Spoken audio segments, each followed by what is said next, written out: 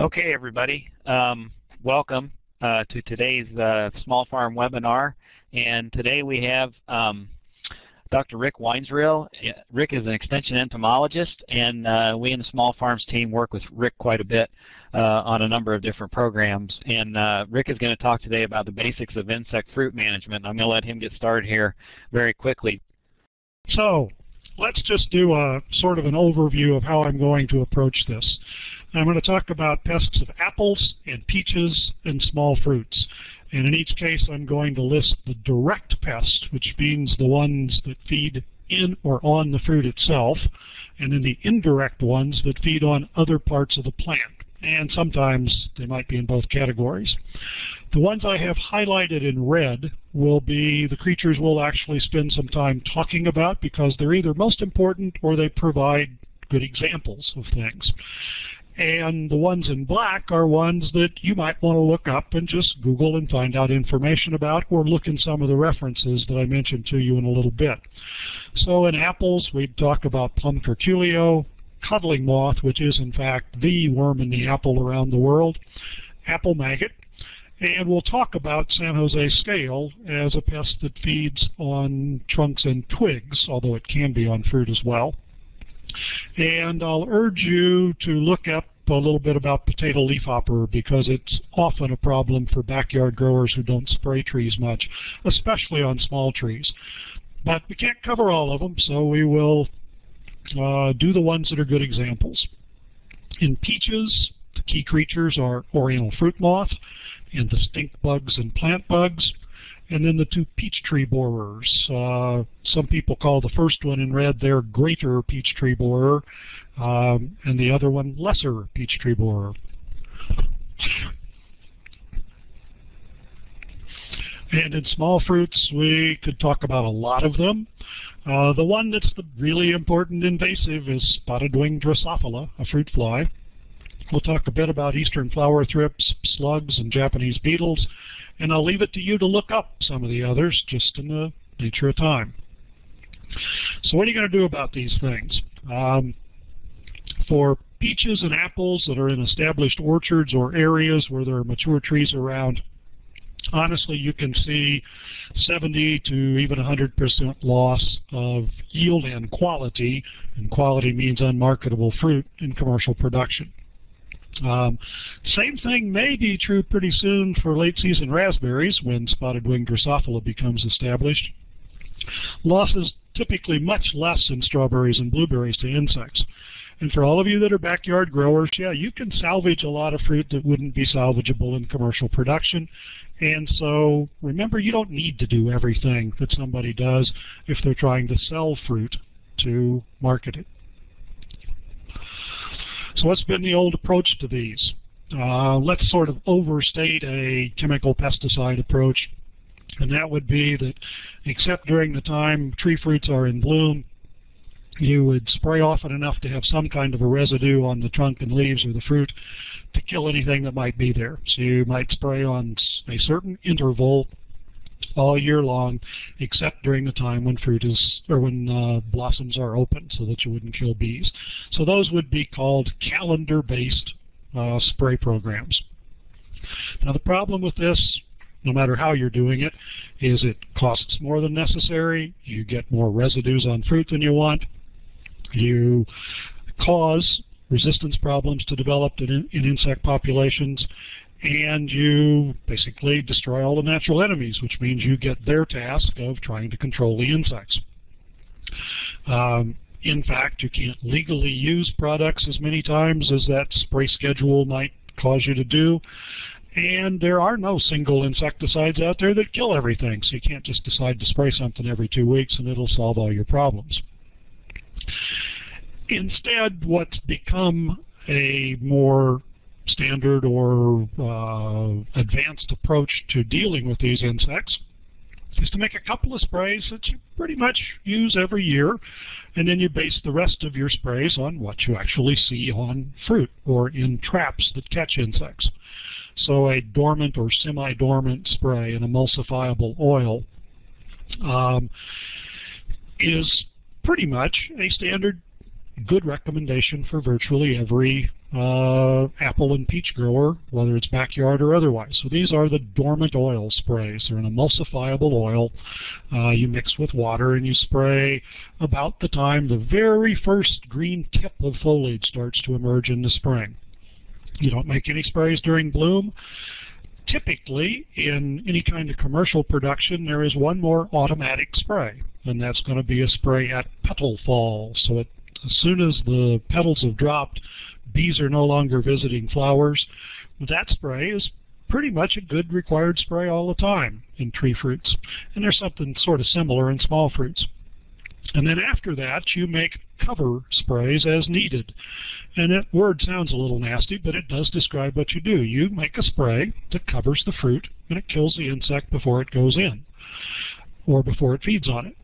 Now, the intent there is that that cover spray is safe enough that the residues don't harm anybody by the time we are going to harvest that fruit. And that's why some insecticides can be used and others can't. There are some production practices that you can use for the backyard growers in the group. Bagging apples is actually uh, not a bad idea. And we'll show you a picture of that and you can uh, find a reference on it. There are a few things you might do in terms of biological control. Typically, it's just don't spray too much. Uh, but biological control in fruit is something for most of us you do by not killing the natural enemies rather than trying to do something to supplement them. So for apples and peaches, uh, basic approach is you always use a superior oil before bloom. And again, this is an emulsifiable oil. It mixes with water. You spray it at about 2% by volume, and it actually coats the eggs of European red mite and rosy apple aphid and the scale covering for San Jose scale, and it suffocates those insects. You can't continue to use these um, all of the time because once foliage is present, if you use them at the same rate, they actually cause some damage to foliage. Um, again, we'd usually use in that petal fall spray, sort of an automatic spray, uh, a spray that's effective against plum curculio or maybe stink bugs and plant bugs and peaches. And we'll look at these insects in just a little bit here. And then after that, you make your sprays based on what you might catch in traps or scouting, which is simply monitoring for insect infestations uh, on trees um, and on fruit. So how are you going to know how to do all this stuff? Um, let's start with a basic reference or two about insects and entomology. The first of the two links shown in this slide is the URL for the Introduction to Applied Entomology class here at the University of Illinois. And this class is uh, meant for beginning students in agriculture, horticulture, or just people who want to know more about insects and crops and life. Um, when you go to that page and you look at the syllabus, you can look at all sorts of different topics. If you click on the second link, that link actually goes to the lab on vegetable and fruit insects. And that's a good overview of things, or at least I think it is. It's my class, so that's, that's the criterion. Um, if you're looking for a book that's a good book about insects as pests in gardens. Whitney Cranshaw's book, pictured here, is just absolutely wonderful. You can buy it uh, directly or you can buy it on Amazon.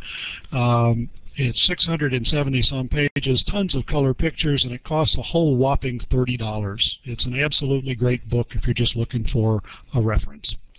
What else could you look for that would help you with uh, with uh, general identification of insects.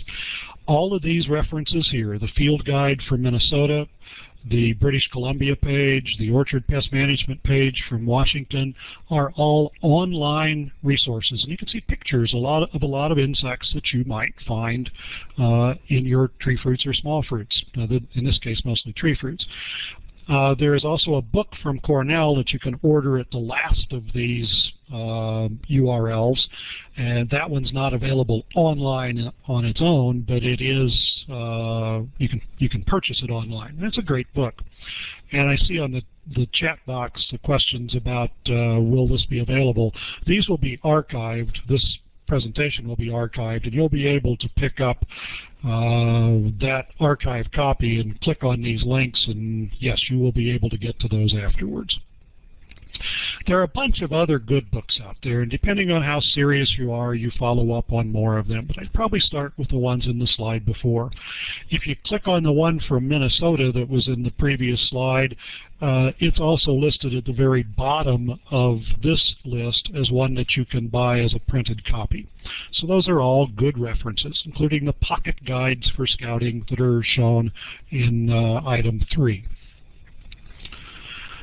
For small fruit insects, there are fewer really, really good sort of picture references. The Virginia Small Fruit IPM site is quite good, and the Midwest Small Fruit Pest Management Handbook that we participate in, in developing for the North Central region uh, is also available online and gives you a lot of identification help.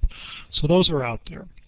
And then if you go from, all right, I've identified it, to what can I learn about it that might help me with management, there are two pest management handbooks. Now these don't provide insecticide recommendations, but they do uh, provide information about insect life cycles or disease cycles for the pathogens of fruits and some of the practices that you might use to avoid those insects or diseases. Those are available online. You can get PDF copies, but you can also order them from uh, the Ag Publications Unit here at the campus. If we tell you you ought to go out and monitor for insects, how are you going to know uh, where to get the stuff you need? Typically what we tell you to use is a hand lens that magnifies things so you can see if it's a a leafhopper or a mite or something else that's really, really tiny. You might use, quote, a beating tray for insects like plum curculio and uh, the stink bugs. Uh, you can make these. You don't have to buy one. You just turn a uh, lid to a styrofoam cooler upside down and hold it under a limb and tap it with a little piece of hose or something that won't hurt the limb. You knock insects loose, they fall on the tray, and you can see what they are. But the thing that we especially would encourage people to use in commercial fruit production is pheromone traps. And that's what's in the picture at the lower right. Uh, the little orange uh, rubber septum in the picture at the very lower right contains an attractant that brings in a certain insect. If you know the insect is flying or present, you can make decisions about when to control them. So pheromone traps are especially important in commercial fruit production. Um, where would you get this stuff? There is a supplier in Michigan called Great Lakes IPM for integrated pest management, and uh, that's a pretty good source. Uh, the folks there won't try to oversell you a whole lot, so that's always good. Um, I'm going to talk specifically about pheromone trap use for a couple of insects, but you should know that uh, there is a summary of what are the most important insects to trap for in fruit, uh, how many traps you need, how do you hang them, how often do you have to change the lures, all these things. Uh, in the link that's provided there in the Illinois Fruit and Veg News. That's from, I believe, a year ago or maybe almost two years ago, but the basic information is the same. So, all right. And then you get to what are you going to do about these things? Uh, let's concentrate on two or three, but not all of these. For commercial growers in the Midwest, for tree fruits, there is something called the Midwest Tree Fruit Spray Guide, and it lists pesticides for commercial growers. There is a similar publication for homeowners, and that's the one on the very bottom, and it's Pest Management for the Home Landscape. And the link for it at the bottom is where you can uh, buy a copy of the publication.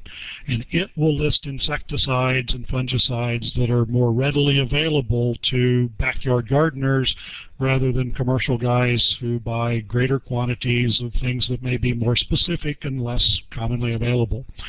If you are an organic grower, uh, there is no such thing as a good grower's guide to organic peach production because it's exceptionally hard to do in the Midwest. There is a good guide for uh, organic apple production that comes from Cornell and I'll show you the link for another publication that's much like it in just a minute.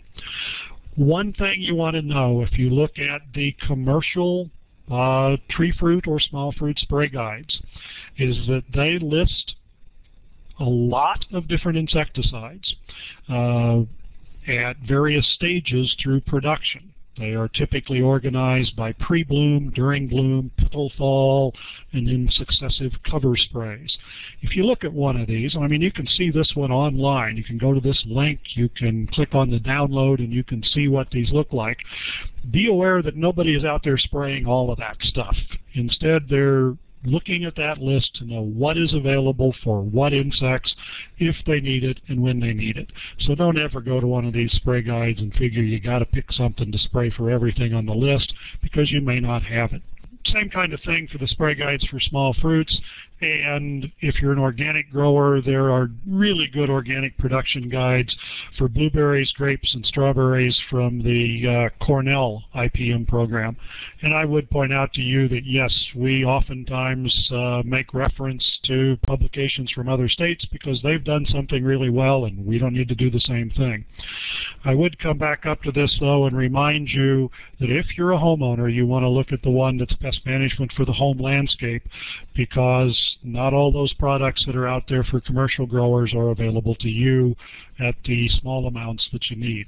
So let's go back and just put a little bit of meat on the bones for the apple insects.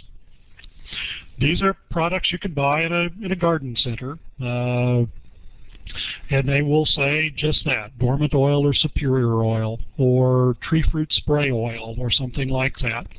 Um, why is it we tell people this is probably a really good thing to do all the time? Well, the reason is they are very inexpensive. They control three different pests that are much harder to control later in the season, San Jose scale, rosy apple aphid, and European red mite. When you make application one or two between the very first presence of green foliage at the tip of buds, called green tip, and pink, meaning just before the uh, the blossoms open. If you make those sprays at that time, they don't hurt any beneficials. They don't have any effect on honeybees at that time. The, in fact, they aren't toxic to bees anyway, really. Uh, they don't cause any resistance problems, and in fact, they're approved in organic production, almost all of them. So I think you want to remember that uh, not always do you have to say I'm going to see a problem and then treat it. And for these particular pests, this is just a good approach. And then you see in uh, the slightly uh, faded text at the bottom that some commercial growers may choose or have to do some other things later on to get the level of control necessary in commercial orchards. Rick, can you clarify? There's a question about dormant oil having any negative effect on honeybees. Can you clarify that? No, it does not. Okay, you should not be using a dormant oil uh, during the time blossoms are open. There is no residual effect on anything that isn't coated by the oil spray itself. And, and the question that says, does there. the temperature have to be at a certain level? You should not spray these when temperatures are going to drop below freezing uh, in the next, I believe the labels typically say 48 hours. So you don't want to spray if it's about to freeze. Um, let's look at the idea of monitoring, and we're going to pick on that insect that's the key one in apples everywhere, the codling moth. Uh, you can order these traps as small kits from uh, Great Lakes IPM. They'll sell you three traps and enough lures to get through the season and enough of those little sticky liners in the bottom to uh, be able to change them occasionally as you need to. And we'd tell somebody with a small orchard they'd use at least three traps to monitor populations. If you're living in town and you got a backyard, two or three trees, and your neighbor down the road has two or three, and somebody on the other side of the block has two or three, each of you buy a trap and tell each other what you catch. Uh, typically, we don't have any orchards in Illinois that would need more than 10 or 12 traps. Uh, we just don't have those big orchards here. You're going to uh, hang the, the, traps as soon as blossoms are over, and you're going to check them twice a week to see how many codling moths you catch. Now, this whole idea that you could put out a pheromone, a chemical that's produced by one insect to communicate in some way with other insects in the same species, that we could use that to trap and monitor populations can be taken a step greater in commercial orchards or in orchards, just not in isolated trees, and that's to put out the pheromone to disrupt mating. You put out enough of it that insects don't find each other. Males don't find females. The problem that uh, arises for you folks in, in town with just a few trees is that this has a real big edge effect. It doesn't kill anything. It just keeps males from finding females. So if they mate in the neighbor's uh, apple tree and then the female flies across the fence to yours, you've got nothing there that kills it. It's just something that deters mating. But I think it's something if you're a fruit grower you ought to know about because it is an important component in commercial fruit production. What happens is the picture on the lower right in, in A, a female releases a pheromone and a female, a male flies upwind to, upwind, excuse me, to find her. If you put a bunch of fake pheromones in an orchard, the male can't accomplish that. Um, the uh, Rick, result, one quick question there. Yes. One quick question there about, you know, uh, from Anel. Can you catch that one while we're here? Um, no, uh, Will this work like June bug traps? If you're the one hanging the trap, you attract more insects to your yard. No problem there, by the way, because the only thing you attract to the trap is males, and males can't do anything useful to hurt you. Okay? They can mate with a female, but they were going to find a female anyway. When you put out a trap for codling moth, you don't do anything to bring in insects and then they cause problems in the same way you do with Japanese beetle. We'll talk about why a little bit later. Um, these things do work in commercial orchards, and the reason is you sort of permeate a good-sized portion of air, maybe a quarter acre, a half acre, or several acres, and in those cases, mating disruption works. If you got a single backyard tree, it won't. But anyway, that's how it works, and this is what these things look like. They're just plastic uh, dispensers with pheromone in them and you hang them by, in large numbers. In commercial orchards, it's uh, somewhere between 200 and 400 per acre. It's actually pretty practical, though. The other insect that many people spray for without trying to sample first is plum curculio. And you can make a decision on this based on what you've seen in your backyard trees or in your orchard in the past. Um, it's a most common pest where orchards or trees are in proximity to woods or other trees around you. Um, so at petal fall, you're going to be spraying for this. You're going to monitor and scout for other things, and the Tree Fruit Pest Management Handbook gives you an idea what you'd be looking for. This is plum curculio. If you look at the picture on the lower right, you can see the, the signs of its presence. Uh, the little weevil in the upper picture comes out of the woods or another place around you and uh, chews holes in the the apple turns around and lays an egg in it, and the larva starts to develop in the apple. Lots of times it doesn't survive, and at harvest all you have is the scars that are on the apple in the lower right. If you have a lot of this, uh, you can still eat those apples, but you sure can't sell them, okay? Or at least most people can't sell them.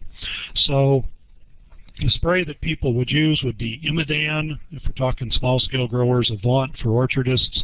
Uh, these are different kinds of insecticides. Organic growers might use something called Surround plus Pyganic, which is a pyrethrin.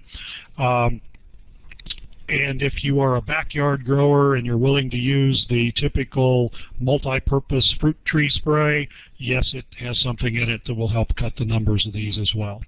Uh, this insect is a problem in eastern North America, not in Washington. And so uh, the people, the commercial growers who like to follow the Washington and California spray recommendations uh, may miss it because they don't have to deal with it. We, we do what's the range of these insects. Um, the moths that occur uh, will fly a few hundred yards. They will drift downwind a little bit further. If you were to plant an orchard in the middle of a uh, square mile of a cornfield, uh, it would take a few years before you'd probably find many of them ever get to you, but eventually they'd find you. Um, in urban settings and in areas where orchards are common, they move among orchards a little bit. Uh, a lot of your insect issues are confined to your orchard, but not entirely. They do move around. So a few hundred yards to a few miles is not uncommon, and we're going to get to one in a minute that travels much, much, much further. Let's talk about codling moth because it's an example of something. This is an accidentally introduced pest in the late 1700s, early 1800s. Uh, the mature larvae, the caterpillars, uh, overwinter in little silken cocoons. Uh, by overwinter, I mean they survive through the winter outdoors in that way. They pupate inside a cocoon in the spring, and the moths emerge typically during bloom in the period when petals are dropping from flowers. And the date for that differs remarkably from southern Illinois to northern Illinois, but the stage of tree development is a pretty good predictor. The females lay eggs on the twigs and leaves, the larvae hatch, they immediately chew a hole in the fruit, and they tunnel to the center of the apple to feed on the seeds. And they will complete development, crawl out, turn into pupae, produce moths, and depending on where we are in the state and how hot it is each year, they will undergo two or three generations or pass through two or three generations per year. I'll get to the uh, Imidan question in just a sec, okay?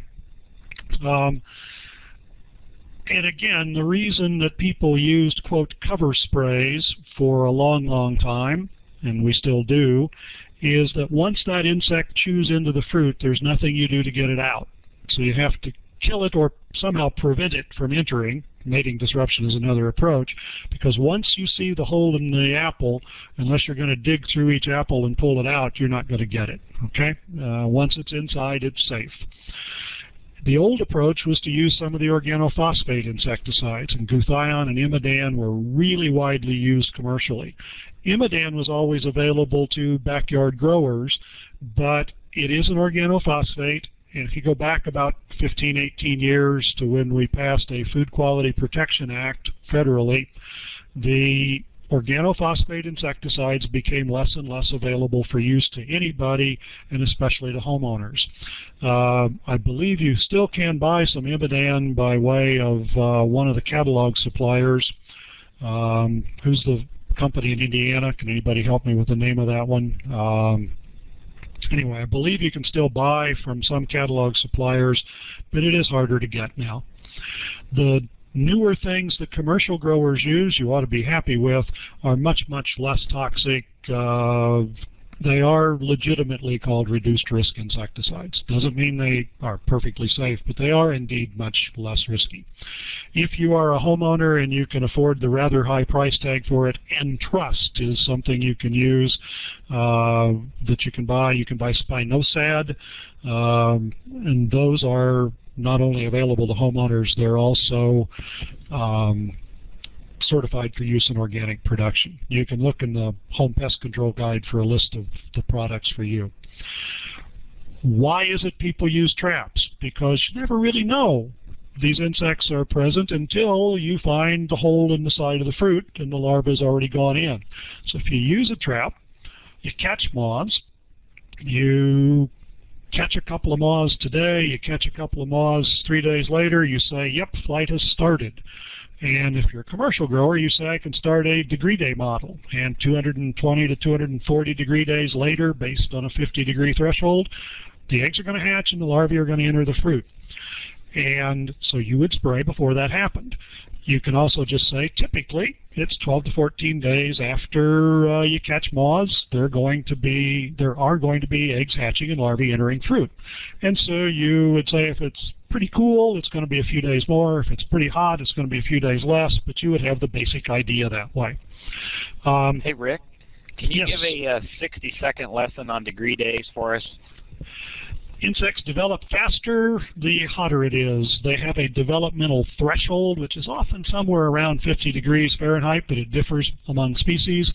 The a degree day is sort of the average temperature for the day minus the threshold. And there are a few nuances to that, but if you said the the low today was 60 and the high is 80, the average is 70, 70 minus the threshold of 50, we got 20 degree days that day. And it just is a way of gauging how fast insects or plants will develop. Um, Most people would say you're going to spray every couple of weeks if there are still eggs hatching. And that's how the commercial approach works with some nuance. Let's do a quick version of some other insects instead of going so fast. Another one in Illinois north of I-70 but not to the south is apple maggot. This is a fly. The larvae are maggots. They tunnel into fruit. And the way you monitor these is with red spheres coated with stickum. Uh, and you can buy these from Great Lakes IPM. And in fact, this is a case where you can, if you're willing, trap out insects, meaning you can put enough traps in a tree to uh, catch enough flies before they lay eggs that you greatly reduce damage. In a backyard tree, a typical dwarf or semi-dwarf tree, you'd put three or four traps in a single tree. You can see why that can work if you've got three trees in your backyard and why it doesn't work if you've got 300 trees per acre and 20 acres of trees. You Just can't do it. It is easily controlled with cover sprays, and you can find them in either the spray guides or the backyard pest control guide. San Jose scale, if you ever happen to see apples at harvest that have these uh, Kankakee County are the apple maggots attracted to ripe fruit. They're attracted to fruit from the time they emerge until they quit, which in this part of the world is uh, typically mid to late June to early July is the first emergence, and they start laying eggs on apples as soon as they emerge. And again, the traps can tell you when that's happening. San Jose scale, if you see the uh, red rings with a white center on apples, that's San Jose scale.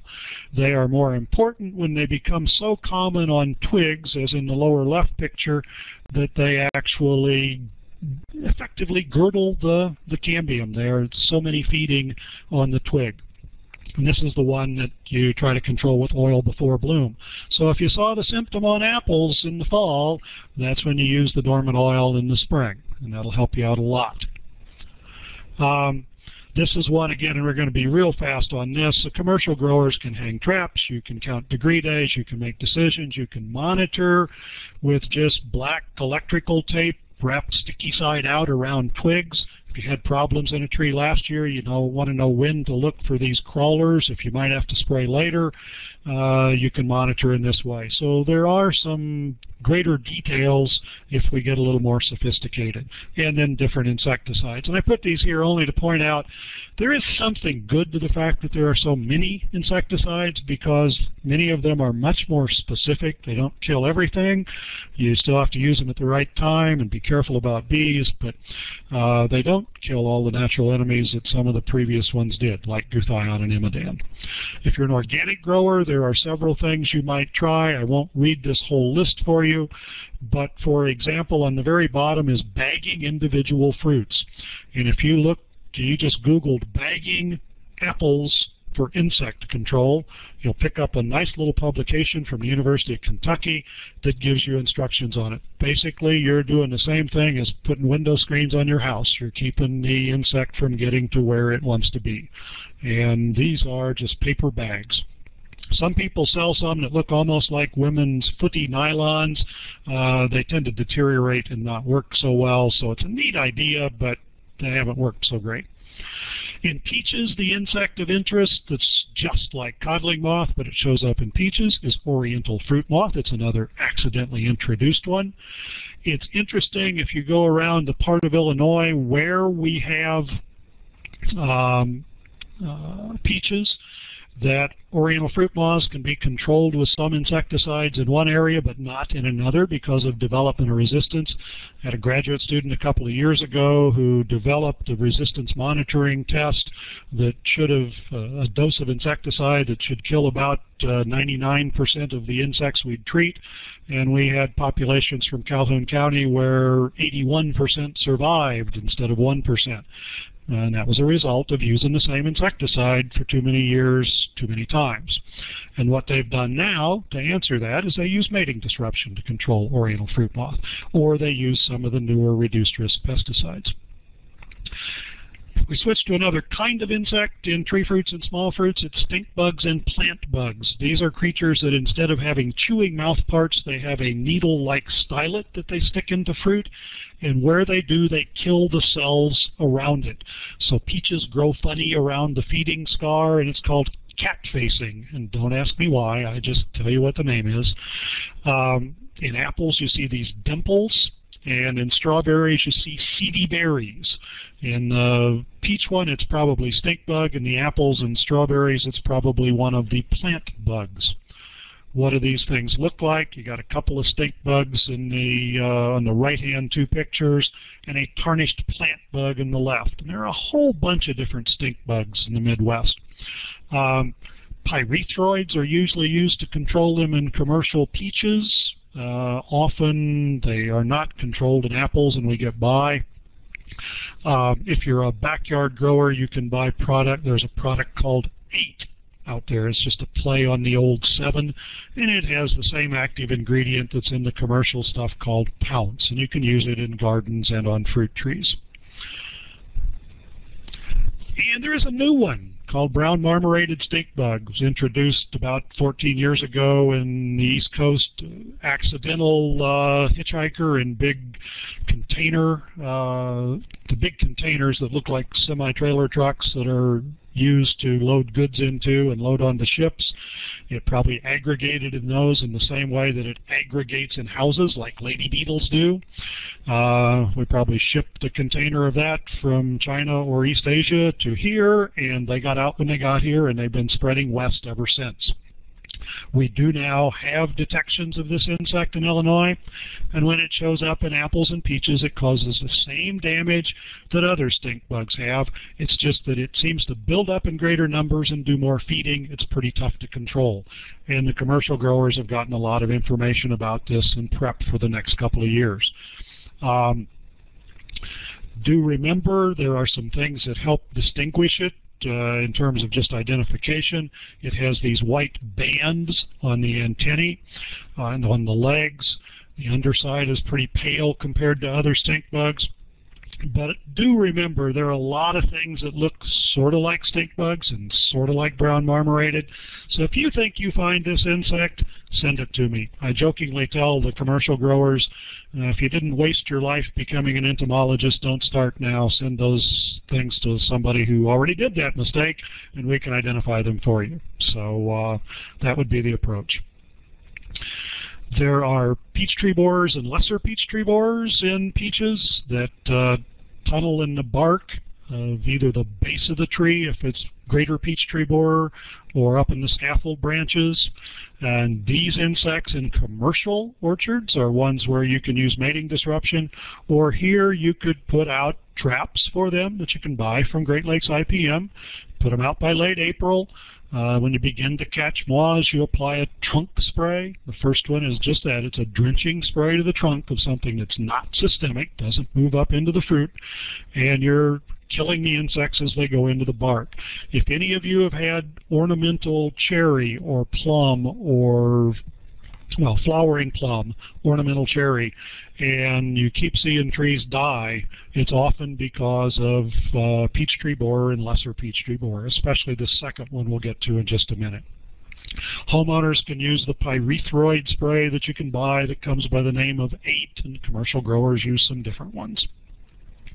Um, uh, again, the the greater peach tree borer is the one that uh, tunnels in at the base of the tree and often kills trees.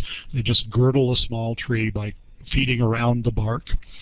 And sometimes you might make a couple of applications a year. And again, I really encourage you to look at the Midwest Pest Management uh, handbook because it gives you a lot of background on these things that we don't have time to cover. You can also hang these twist ties. On this case, it's a different color, but it's the same thing. We took this picture and then realized right above it is another creature. This is called terrapin scale in peaches. We won't cover it, but uh, that's okay. Question, are there beneficial insects that attack stink bug and that can be encouraged in some way in an orchard or fruit planting? There are some, not many. Um, the best thing we usually say about encouraging natural enemies is to make sure there are some plants um, with pollen and nectar around because most of the parasites and a number of the predators feed on nectar and pollen as well as the insect thereafter. Biggest problem with stink bugs is those things also attract stink bugs and uh, stink bug is a tough one to do much with for biocontrol. Uh, spotted wing Drosophila in small fruits, we moved to that. This insect showed up in 2008 in California, 2009 further to the northwest, 2010 in the mid-Atlantic and into Michigan. It's an insect that develops in fruit as it is ripening. Now, Drosophila is a fruit fly, and you we've got lots of fruit flies. You see them every late summer and fall on your kitchen counter when you bring in tomatoes and they're a little overripe and they start to break down and you see these little gnats flying around. Those are Drosophila. They are fruit flies. Uh, this one is a different species and it has been moved around with ripe fruit, infested fruit that's been picked, packed, and sent somewhere, and then they've emerged. And so it's moved through the country. In last summer, we did some trapping for this insect, and pretty much wherever we had traps, we caught it. It is distributed throughout the state. Maybe some townships or counties where it's still pretty rare, but that won't last long. Um, why is it such an issue? Again, it attacks fruit before it's overripe, which was what all the old fruit flies, the, the ones we've had for a long time, have done. The crops that are really vulnerable are strawberries, raspberries, you see the list on the left, blueberries and blackberries. Peaches at moderate risk. Apples is pretty high on the moderate, well, pretty low on the moderate risk side, meaning not very susceptible. Tomatoes, but a lot of weeds and wild plants that produce berries. Um, they like thin-skinned fruit as it is beginning to color. Remember, they're tiny. These are fruit flies, just like the ones you see on the countertops. You see their size on uh, raspberry and strawberry, and you see the spotted wing on the male that gives rise to the name. You can detect these things, and I would actually encourage you guys to do this. I've got a, a website for Michigan for a good site on spotted wing Drosophila on here. Um, and you use either vinegar or yeast in a deli cup. You know, you go to the grocery store, go to the deli, and you buy yourself a two-pound container of potato salad and save the container. Um, somebody has a hand raised. I'm not sure this is the question. What are some good alternatives around beneficial insects that protect a variety of crops? Meaning the kind of beneficial insects or the kinds of plants? kinds of plants are uh, legumes and carrot family plants, umbellifers. Uh, I'm not sure where the James, if they're in Kankakee County and you have a copy of the Beneficial Insects book, uh, the Guide to Biocontrol, there's a nice list in that. Um, I can try to see if I can't supplement the PowerPoint with that. Um, Again, you can make these traps. It's a bait in the bottom, holes in the sides. You hang them in the shade where fruit is starting to ripen. And if you catch these things and you've got raspberries there, be aware. They are a they are very, very vulnerable to this fly. They cause the fruit to just basically melt down. Can you screen to protect strawberries? Yes, you can. Now, if we go back for a second to this list of susceptible crops, realize that these things will winter successfully here, but their numbers will be pretty low in the spring. So they'll build with each successive generation every 10 to 12 days all summer long. So the earliest plants, although strawberries are quite vulnerable, populations are likely to be real low. So strawberries may escape.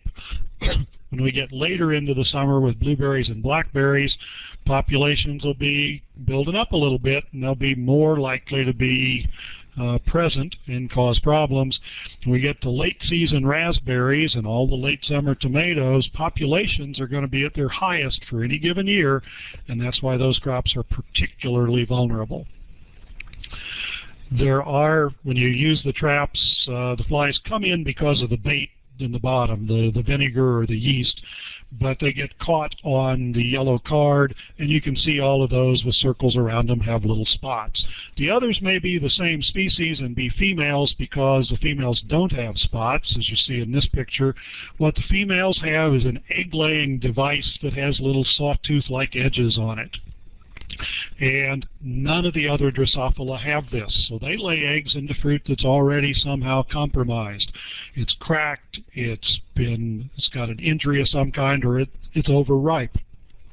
This one goes to fruit as its coloring because it abrades the fruit with the egg-laying device and lays an egg inside. Uh, what are you going to do? Make yourself some traps. Uh, one of the initial slides here had the website for Michigan State University spotted wing Drosophila, or you simp simply Google spotted wing Drosophila trap, and you can get directions for making them. Um, you can use insecticides at five to seven day seven day intervals, but you have to uh, be aware that you can use them only so close to harvest. Removing overripe and infested fruit does, you know, slow down the population buildup. If you're an organic grower, you can use Entrust. If you are a commercial grower, the list is long. If you're a backyard grower, you can still buy malathion. You can buy formulations of uh, Pounce, which can be, or permethrin, the 8 product, some of which can be used on small fruits. Uh, and again, take a look at the the home pest control guide or send me a note because you've got the address, my email address in the first slide.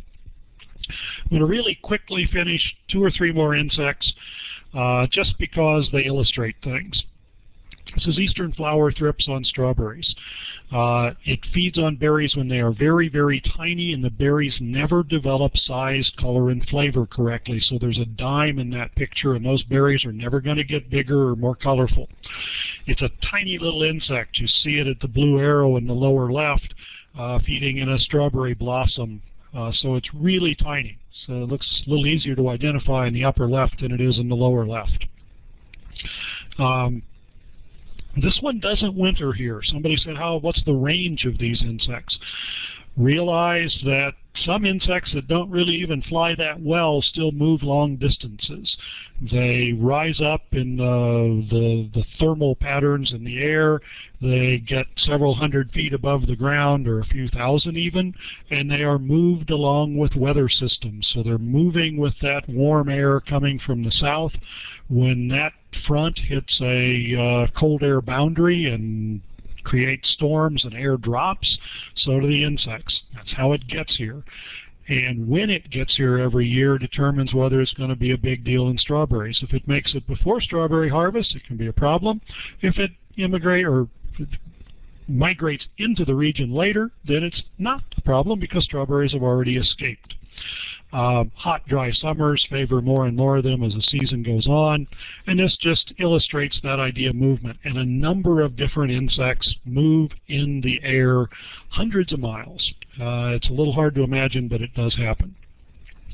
Um, typically, you can scout for these. You go out as soon as the very first blossoms open. You shake some of them into a bag, and if there are more than two or some people would say as many as 10 thrips in a blossom, you probably ought to spray something to keep them from damaging the fruit.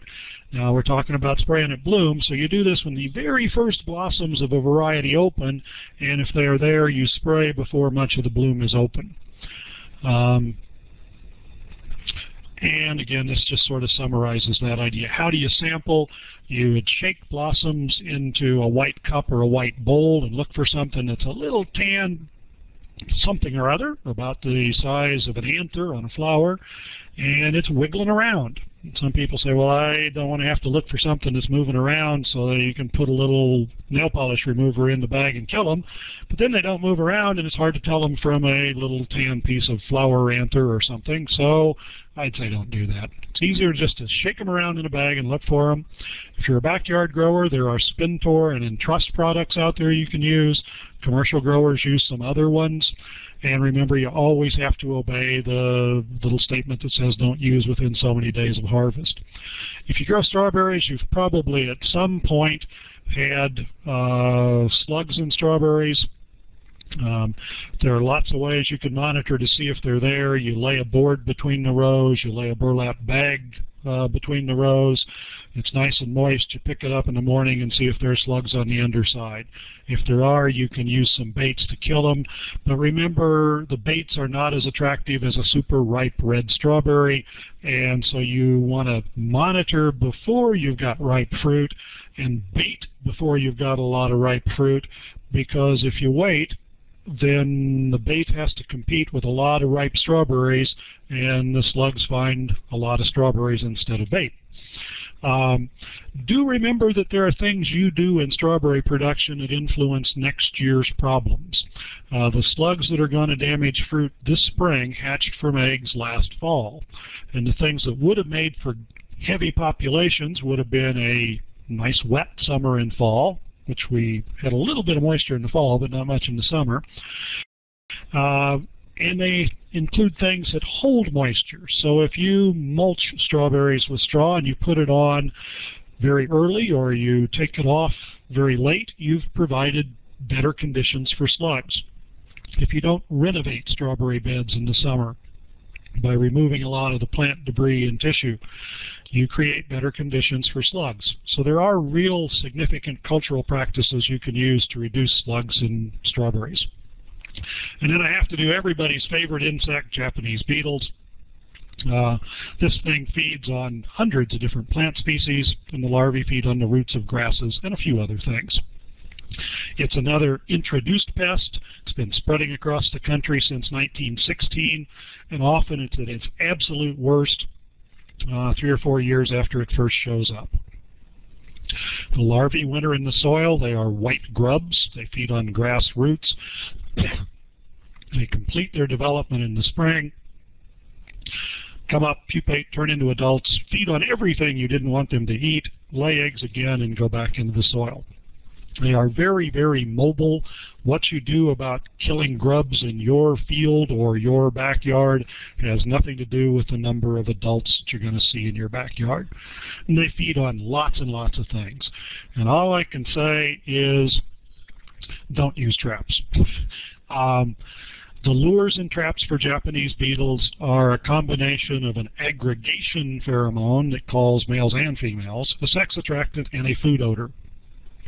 So they do bring insects in, and not all of them find the trap.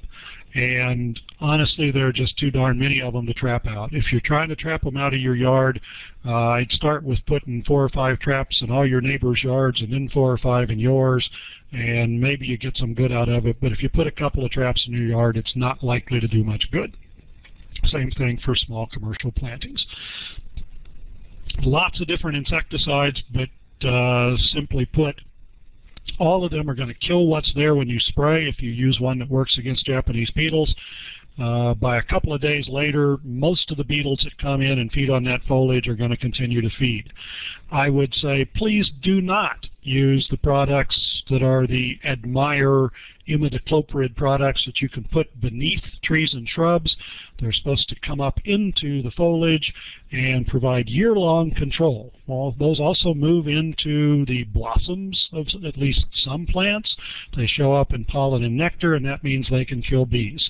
I think it's a real bad idea, and I'm not sure why we ever registered all of those, why they were all approved. But I would really discourage them, or if, you're, if you are a fruit grower, you need pollinators, and you don't uh, protect pollinators when you use those. Um, what about Milky Spore? Milky Spore is a modestly effective product to control grubs. So if you're looking for grub control in your yard, it will help. It won't do a darn thing to reduce the number of beetles in your on your roses and on your fruit unless everybody in the neighborhood and probably the township is using the same thing. The beetles are way, way, way too uh, mobile and they come into your plants whether they grew up in your yard or not or in your small grape or strawberry planting. Doesn't matter where, uh, strawberries aren't an issue, but other crops. They don't have to grow up there to get to you. Uh, again, if you're going to look for any of the sort of specialty stuff for monitoring, Great Lakes IPM is a place to go. I list all these others, but honestly, you you might as well just stick with the one that's Midwestern and, and contact them. There is a newsletter for commercial fruit and veg growers, but if you're a backyard grower and uh, insects are active on raspberries, the same ones are active on your raspberries, whether you're commercial or not. So that's the Illinois Fruit and Veg News. It's available online. If you click on it and uh, and look at it, you'll find there's an email address where you can send me a request and we put you on an email list where every time there's a new issue we let you know. There are other great newsletters from other states that range from backyard fruit to commercial. Uh, Purdue, Penn State, Rutgers, and Cornell all have great uh, fruit newsletters for commercial growers. So what I would do is open it up for you to type your uh, questions in the chat and we'll see what we can answer. Anybody that has questions for Rick, just go ahead and type them in and, and we'll start uh, working through those. Is there a good publication regarding beneficial insects in fruits? Um,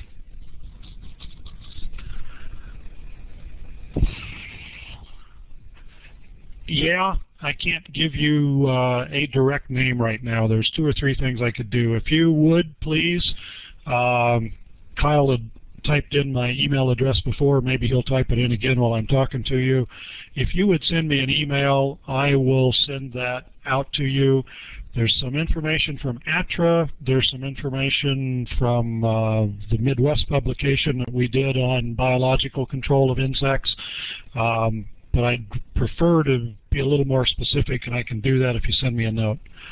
Will superior oil decompose in the environment over time? Yes, it does. Uh, you don't really, there is no activity of that material after it dries on a twig or plant material.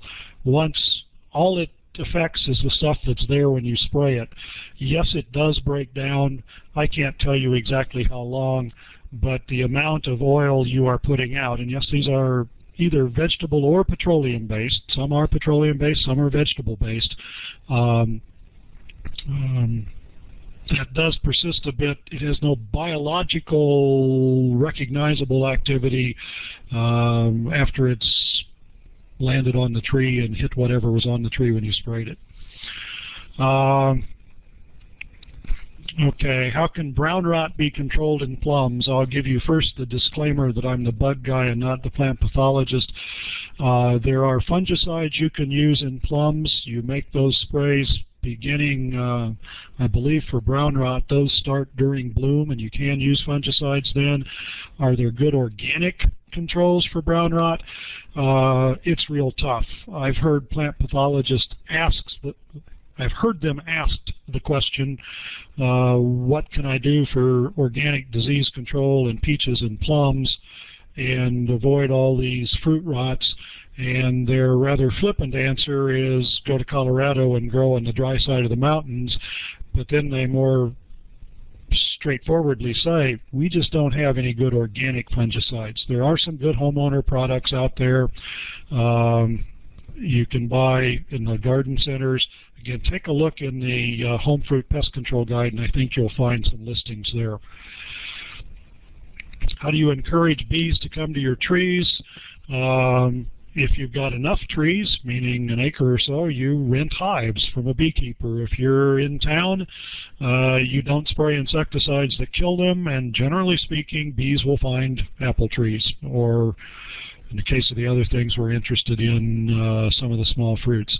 Peaches don't need bees, doesn't mean they don't help, but peaches don't need them.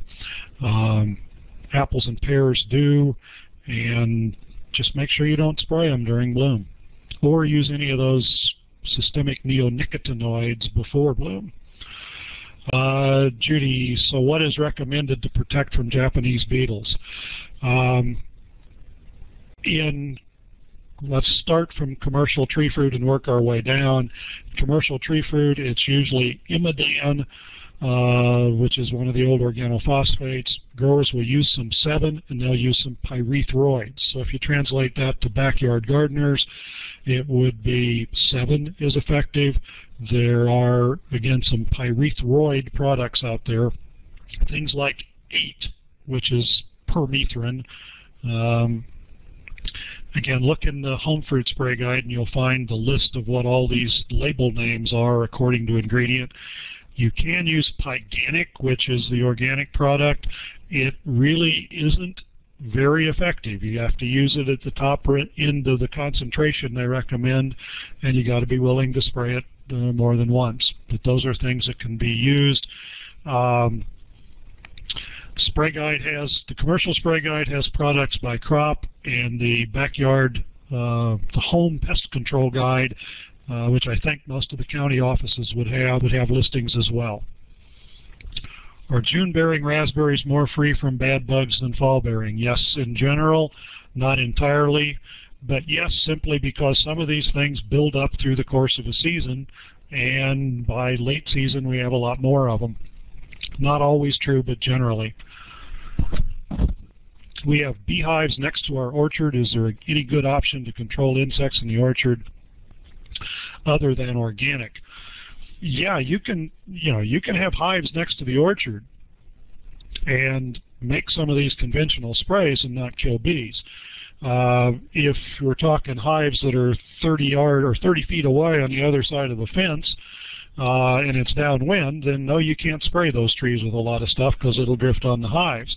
But if we're talking even, you know, a few yards away, 30, 40 yards away and not downwind, the two things you have to be aware of is don't spray any of your stuff while the, the fruit is in bloom, but secondly, make sure you are creating a good ground cover out there that's mostly grass and not a flower, not flowering weeds that attracts bees because if the row middles are all full of flowering clover or something like that, uh, it doesn't matter that your trees aren't in bloom. If you spray, you're going to be spraying a blooming plant, which is going to be the ground cover.